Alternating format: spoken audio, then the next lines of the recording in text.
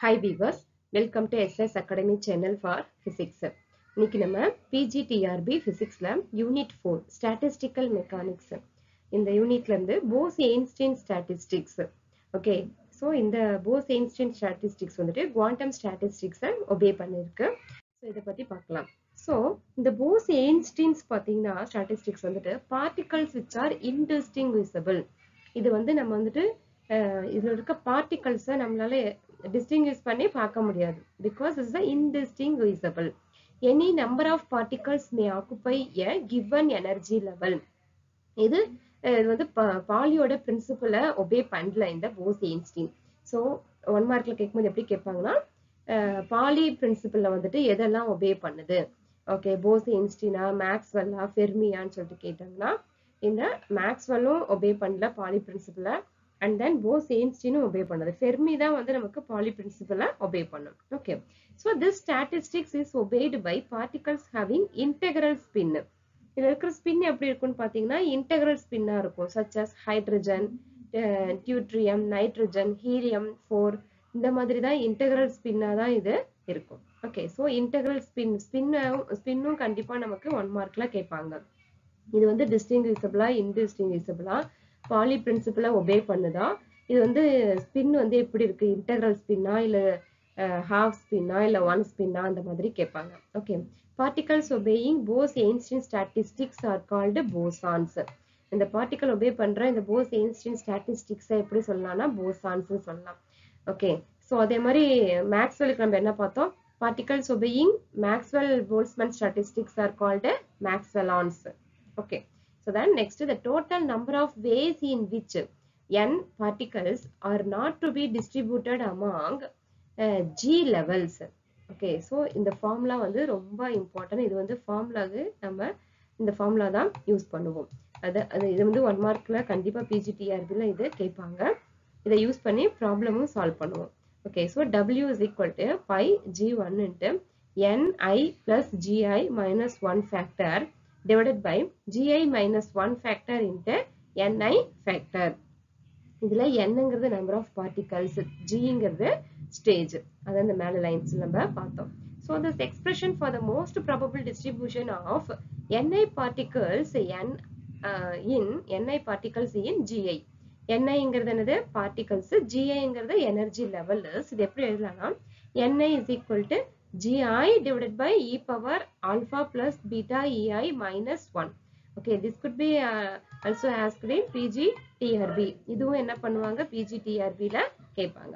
Okay then next okay so இப்போ நம்ம distribution functions பார்க்கலாம். Consider a system of N indistinguishable particles. என்னங்கிறது என்னது? இந்த சிஸ்டம்ல indistinguishable particles.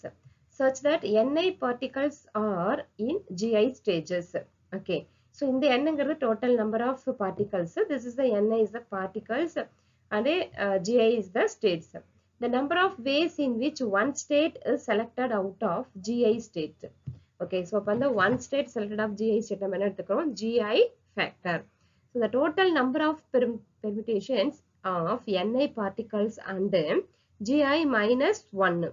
So the partitions is, the partitions என்ன பண்ணலாம்னா Ni plus Gi minus 1.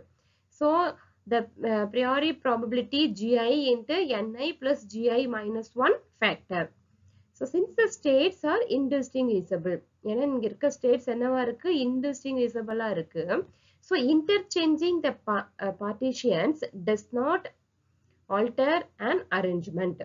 okay so hence the above expression must be divided by இதெல்லாம் என்ன பண்ணும் gi ஃபேக்டரால டிவைட் பண்ணும் கண்டிப்பா so and particles are also indistinguishable and interchanging of particles also does not alter an arrangement hence the above expressions must also be divided by ni factor okay so இதை gi ஆல divide பண்ணணும் then ni ஃபேக்டராலும் இது என்ன பண்ணணும் divide பண்ணணும் because this is the indistinguishable particles that's why so the total number of ways in which n particles are to be distributed among g levels ஏன்னா இதுல இருக்க டோட்டல் நம்பர் ஆஃப் வேஸ் என்னது என்னங்கிறத particles ஆகும் இதுல இருக்க அந்த டிஸ்ட்ரிபியூட்டட் அமாங் என்னது G levels so gi into n plus g minus 1 factor divided by gi factor into ni factor இதை நம்ம previous இதுல பார்த்தோம் இந்த gi ஆலையும் ni ஆலையும் என்ன பண்ணும் divide பண்ணும் சொல்லிட்டு so gi into n plus g minus 1 factor divided by gi factor into gi minus 1 factor into n factor so finally n plus g minus 1 factor divided by gi minus 1 factor into ni factor okay so Similar expressions can be found out for various other quantum states. So, அதை base பண்ணி various எப்படி பார்க்கலாம்னா consider all the available quantum groups n1 particles. So, இப்போ energy levels எடுத்துக்கலாம் இதுல with energy E1, okay, n1 particles with energy E1, n2 particles with energy E2. Okay, so on so on அதே மாதிரி எடுத்துக்கலாம்.